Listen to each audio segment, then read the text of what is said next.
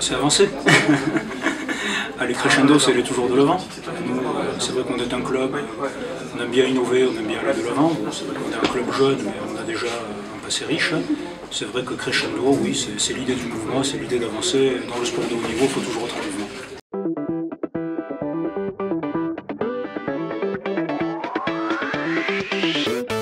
Alors le mien, euh, je suis au club, je suis arrivé au club en tant que je suis avocat de formation, je suis arrivé au club pour structurer un petit peu tout le juridique, créer à l'époque la convention entre l'association et la société sportive, puis euh, bien évidemment je me suis fait appeler par tout le juridique, puis le conseil d'administration, puis la vice-présidence, et puis un beau jour, euh, Robert Moline, mon prédécesseur, hein, m'a dit qu'il pensait que je serais apte à lui succéder, donc euh, j'ai foncé dans l'aventure parce que une chance unique de pouvoir participer au haut niveau, une très belle aventure humaine, c'est un très beau club, c'est un club qui a été créé en 1982, qui est monté en première division en 1994, qui était champion de France en 1995, champion d'Europe en 2003, 40 titres.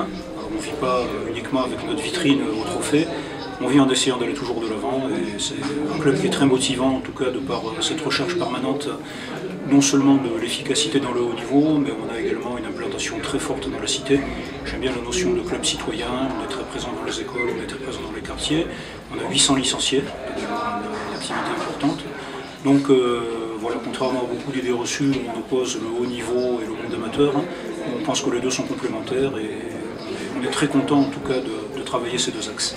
Notre stratégie de développement économique, nous, euh, c'est un, modèle qui a déjà été mis en place depuis euh, deux ans, à savoir que une forme d'avancée avec un partenariat public-privé, puisque Montpellier a toujours été en avance au niveau politique sur la volonté de promouvoir le sport de haut niveau. On a des participations publiques importantes qui représentent 35 à 40% du budget, mais avec de vraies contreparties, en particulier les subventions sur les activités de, formation, de développement du sport, compris le sport par la santé, avec des prestations de services, et ensuite nous avons nos ressources propres, le partenariat avec 60 à 65% de, ressources propres.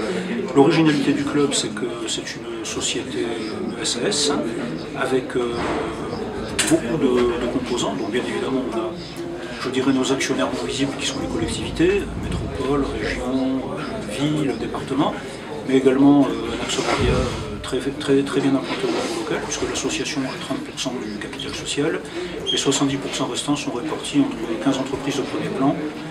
On a des actionnaires qui sont partenaires, et on a aussi beaucoup de partenaires qui ne sont pas actionnaires, donc euh, on travaille beaucoup sur l'association de marques, puisqu'on essaye de faire du MHB du Montpellier Handball une marque une marque éthique, une marque de réussite sportive, une marque de convivialité. Donc beaucoup de partenaires chez nous viennent rechercher cette notion d'association de marque. Pense que tout ça est dans les gènes du club. c'est-à-dire que quand les gens viennent à Montpellier, ils vont franchir Montpellier. Après, euh, il faut que le collectif soit toujours euh, plus fort, c'est-à-dire du club soit supérieur à tout. Vous Montpellier, c'est des joueurs français, des joueurs slovènes, c'est des joueurs tunisiens, c'est un mélange extraordinaire. Donc euh, oui, on a, ce savoir-faire, ce creuset, ce niveau d'exigence. On a Patrice Canaillet qui est un coach, déjà général extraordinaire, avec tous les succès qu'on connaît depuis 25 ans.